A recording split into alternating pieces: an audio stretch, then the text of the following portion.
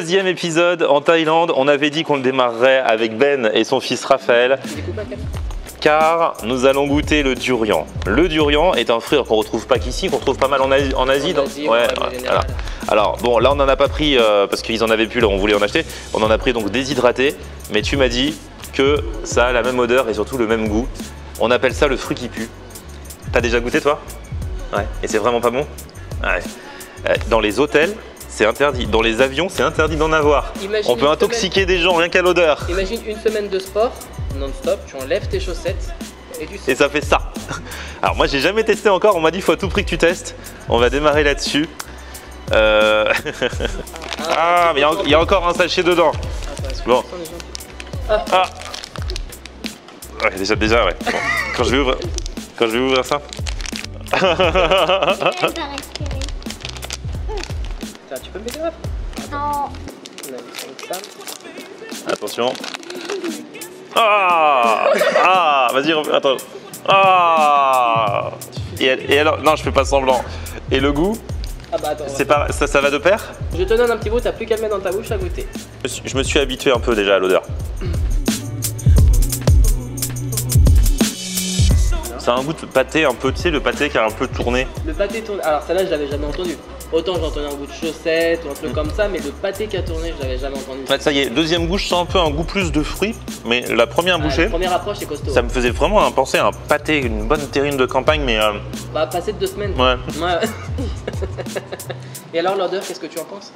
À première vue, ouais, non, j'étais pré- j'étais préparé psychologiquement, Oui, faut dire. Donc, euh, tu vois, c'est pas comme s'il y avait eu la Tu surprise. l'interdiction dans Mais les ça taxis, pue, ouais. euh, ouais, c'est violent.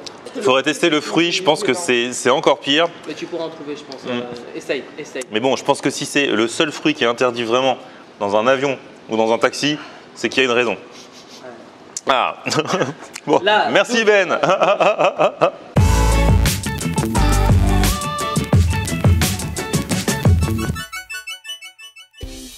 Salut tout le monde, bienvenue. Nouveau vlog aujourd'hui, toujours à Bangkok donc, mais là c'est Bangkok by night qu'on va découvrir. Alors on va un petit peu, enfin on reste dans Bangkok, mais de l'autre côté de là où j'étais, parce qu'en fait Bangkok c'est très grand. On va en parler dans un instant avec deux abonnés qui m'ont proposé de m'emmener dans un de leurs restos préférés et de me le faire découvrir. C'est parti.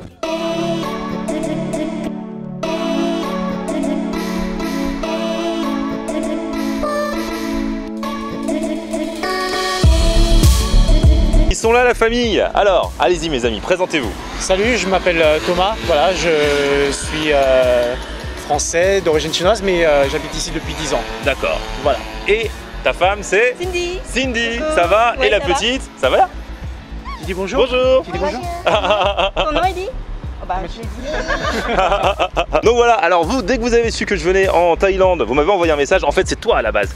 Tu t'es dénoncé, c'est toi qui regarde mes vidéos à la Eh ouais, base. C'est moi, Et du coup, tu l'as fait découvrir à Thomas. c'est ça, Et quand, euh, quand vous avez su que je venais, t'as dit envoie un message. c'est ça. Parce que vous avez des trucs à me faire découvrir. Forcément, vous habitez ici depuis 10 ans. Toi, t'es d'origine thaï, Ouais. mais vous habitez tous les deux ensemble ici depuis euh, 10 ans. C'est ça, exactement. à Bangkok. C'est ça, exactement. Et alors, vous m'emmenez où ce soir? Bah, on va t'emmener dans un restaurant qui est euh, plutôt raffiné par rapport à d'autres restaurants thaï, qui s'appelle The Never Ending Summer. Donc euh, voilà, et, euh, L'été qui ne s'arrête jamais. exactement. Et, euh, Ouais.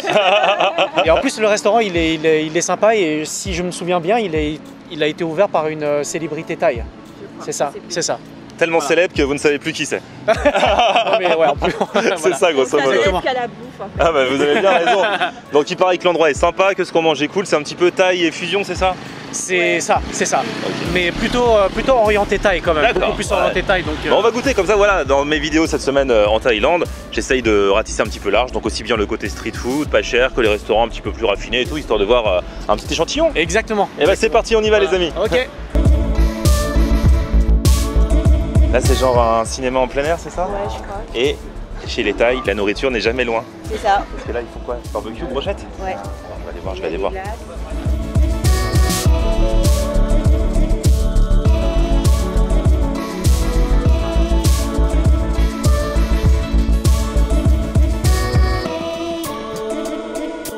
Ça a pas l'air mauvais, ça sent bon.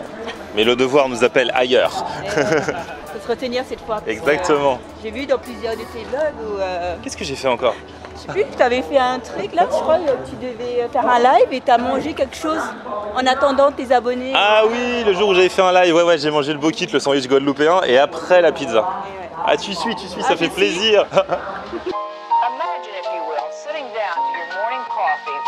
Eh là c'est trop beau. Le restaurant est juste à côté de la rivière, donc il y a même des bateaux qui proposent des, des croisières et tout ça, dîner en même temps. Du coup c'est quoi cette rivière? Le Chao Phraya. Le quoi? Le Chao Phraya. D'accord. Ouais. Une-.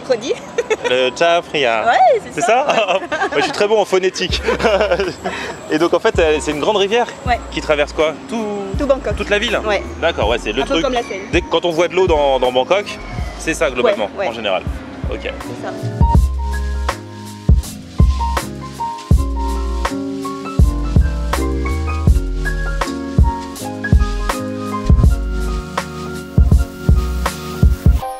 Bon déjà pour ceux qui aiment bien voir ce qui se passe à l'intérieur des cuisines, on a vu direct sur les cuisines.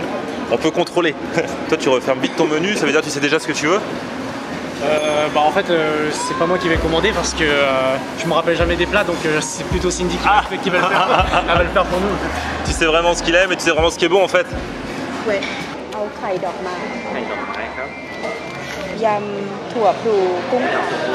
เ Bon, on vient de commander et là on est en train de discuter. Et Thomas vient de me faire une révélation très importante. Breaking news, alerte info.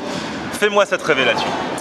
Bon, euh, je viens de dire à Florian que en fait, euh, KFC en Thaïlande, euh, c'est vraiment moins, bon qu'en que France parce que déjà bah, pour, les, pour les fans de, de KFC il n'y a pas de bucket de wings ici. Même le, même le poulet du coup c'est pas, c'est pas le même, il est pas frit Ah ouais, pareil, c'est moins bon. T'as essayé et du coup... il, est, il est- il est- il est vraiment pas bon et en, en enfin, pour moi le, le meilleur KFC c'est c'est celui de France. On les salue. Ils seront contents. Big up à KFC France. Du coup, ton poulet, tu le manges comment ici? C'est quoi la façon dont on mange le poulet en Thaïlande? Bah, c'est euh, donc euh, c'est un poulet que les gens mangent euh, la plupart du temps dans, la rue. Et c'est un poulet donc le riz il a été mariné et cuit dans le bouillon du poulet. Et le poulet en fait tu sais la peau elle est, relativement pâle en fait. Et donc après bah, ils tranchent ils, font ça enfin ils tranchent et ils mettent des petits morceaux de poulet et puis ils les donnent, euh, ils les donnent sur, euh, sur une assiette et euh, la plupart du temps on mange ça dans la rue, c'est à peu près 40-45 bahts. Ah ouais Voilà. Donc c'est moins cher qu'un KFC pour le coup. hein. ouais, Ça vaut pas le coup de s'en priver. Bon alors on a pris en petites portions pour goûter en mode tapas. Deux plats. Alors du coup, ça c'est quoi? Soupe aux crevettes, D'accord.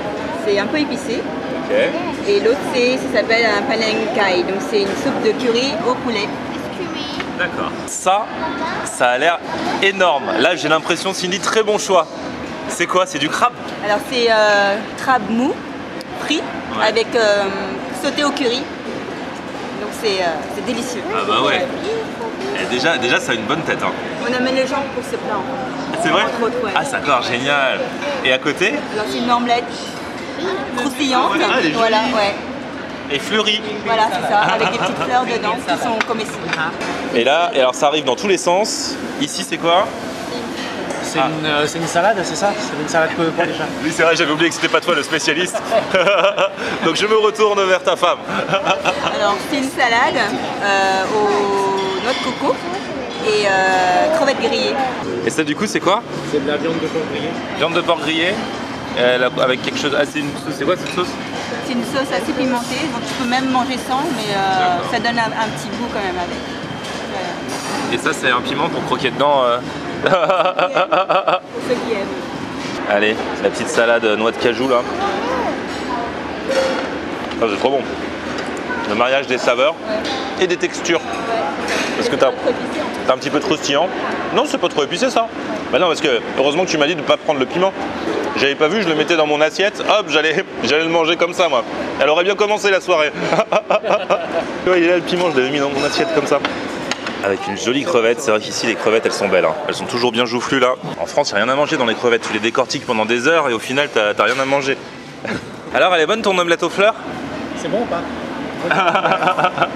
Elle a une belle tête, hein Vous en avez déjà vu des omelettes comme ça, vous? Et il y a des fleurs dedans aussi?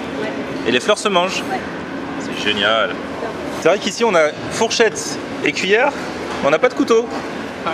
Vous avez pas de couteau ici? Bah, Plutôt, non, non, bah, je crois qu'en général, euh, à part dans les, dans les restaurants où on mange des steaks, je pense que. D'accord, ah ouais, jamais. Jamais, jamais, jamais. Mais pas de baguette non plus, c'est vraiment euh, cuillère fourchette. Bah, tu vois, c'est ça qui est marrant en fait, c'est que les, les, euh, les Thaïs, excepté euh, les plats euh, avec des, des nouilles, Ouais. des soupes, bah, ils n'utilisent jamais les baguettes. D'accord. Voilà. Comparé aux Asiatiques, aux Chinois, Ouais, Qui, qui utilisent pour, euh, les baguettes pour tout en fait. Bah ça m'arrange hein, puisque je ne suis pas le pro des baguettes. Tu m'as dit que la viande de porc là grillée elle était bonne Allez, vas-y, hein. Allez. essaye là. Allez allez, on va goûter ça là. Regardez le morceau là. Essaye sans sauce d'abord et après avec sauce. D'accord. Regardez-moi ce bon morceau grillé. Et la viande. Il n'y a même pas besoin de sauce en fait, tellement, euh, Ouais, c'est ça, tellement ouais, elle a un bon goût quoi. La, la sauce, on va. Et la sauce du coup, allez, on va essayer avec un petit peu de sauce. Sauce qui pique un peu. Peu. Très bonne. Ah oui, on peut mettre autant qu'on veut, ça pique pas ça. hein. Je trouve que rien ne pique aujourd'hui. Ça c'est le panang, c'est ça? Donc c'est poulet curry, soupe au poulet curry. J'ai versé la soupe sur mon riz. Ah ça, ça pique un petit peu par contre. Léger, mais c'est trop bon. Pour l'instant, c'est ce qui pique le plus. C'est super bon. Attention, l'heure est très importante. Je vais goûter le plat phare de cette soirée, le fameux crabe. Alors ça, t'as dit, tous les gens à qui tu le fais goûter, ils kiffent. C'est ça sans exception. Et la sauce, elle a l'air, elle a l'air bien épaisse. Ouais. C'est quoi la sauce en fait Curry et euh, des œufs. Ah, c'est avec des œufs. Ok. Donc c'est euh, c'est- c'est pas trop relevé, mais c'est très bon. Tiens, j'ai d'abord goûté la sauce un petit peu avec le riz. Ils m'ont dit de prendre plein de sauce, que c'est ça qui fait euh, le truc quoi. Ah ouais, délicieuse la sauce. Et ce crabe là, aucune erreur. Aucune erreur. Ça pour le coup c'est un plat, j'avais jamais, euh, je n'avais jamais mangé quoi. Du coup ce plat c'est un plat euh, traditionnel familial, un plat qu'on retrouve plus au resto, euh, ou c'est pas trop street food quoi? Non, c'est pas Ouais. du tout. C'est un plat un peu quand même qualita- qualitatif, élaboré quoi. Voilà. Tellement bon. Ah là là. Y a pas ça dans les restos thaï à Paris? En tout cas, j'avais jamais vu. Et c'est super bon. Mais déjà, rien que la tête que ça avait quand c'est arrivé, on savait. C'était super bon. Bravo pour ces choix. Franchement, ça change vraiment. Euh, mention spéciale, bon, euh, au, au crabe, mais à tout quoi. C'est super bon. Merci beaucoup les amis. hein. Ah, a pas de quoi, avec plaisir. Franchement, c'était super. Ça, c'est des abonnés en or une fois de plus. J'ai trop de gens partout dans le monde en fait. J'ai des abonnés en or. C'est trop trop cool. Non, super adresse. Alors, si vous venez à l'occasion dans le coin, bah, je vous mets l'adresse euh, dans la barre d'infos et après débrouillez-vous pour trouver parce que alors moi, je ne sais pas comment je suis venu ici. hein. bon, Cindy, Ouais. très bon, très bon mari, très bonne fille, très bon choix dans les trucs. Je te mets 20 sur 20. Ouais. T'as assuré. Merci beaucoup. hein. De rien. J'espère que t'as aimé. Enfin, je pense que Mais t'as aimé. carrément, bah vu tout ce que j'ai mangé, Ouais. soit je suis maso, soit j'ai aimé. Ouais. Et je confirme, j'ai aimé.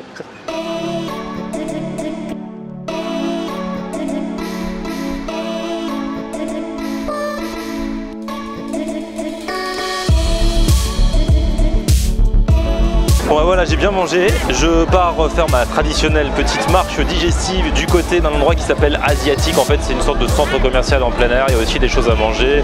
Il y a une grande roue, plus euh, genre, je sais pas, des manèges, voitures tamponneuses. A un truc comme ça. Histoire de bien passer la soirée by night. Voilà, c'est sympa. Bon, c'est assez touristique pour le coup, mais c'est cool. On va découvrir encore d'autres choses. On va sortir un petit peu des sentiers battus dans les jours qui viennent. On va se faire encore au moins un épisode à Bangkok. Ensuite, on va partir du côté des îles où là, ça va encore être magnifique. Aussi bien des choses à manger que, euh, il paraît, des paysages, mais vraiment paradisiaques. Depuis le temps qu'on me parle de la Thaïlande, ça me fait trop plaisir d'y être. Avec vous, bien sûr. Lâchez vos commentaires. Mettez-moi des petits pouces vers le haut si vous avez kiffé euh, cette vidéo. Si vous avez des suggestions, pareil. Et puis, on se retrouve sur mon Facebook, Florian Honner. Et Twitter, Snapchat, Instagram, c'est aussi Florian Honner. A plus, ciao